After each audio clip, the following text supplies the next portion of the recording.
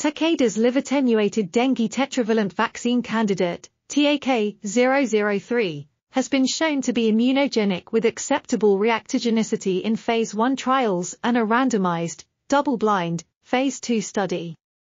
The primary objective was to show immunologic equivalence in terms of geometric mean titers, GMT, of neutralizing antibodies to the four dengue serotypes one month after one dose of the lyophilized and liquid formulations. However, the primary endpoint was not met because immunologic equivalence after one dose was only shown for the DENV2 serotype.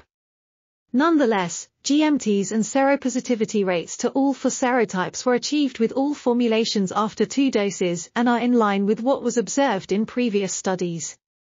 The data support continuing further clinical development of the lyophilized TAK-003 formulation. This article was authored by Mark Turner, Athanasia Papadimitriou, Peter Winkle, and others. We are RTCL.TV, links in the description below.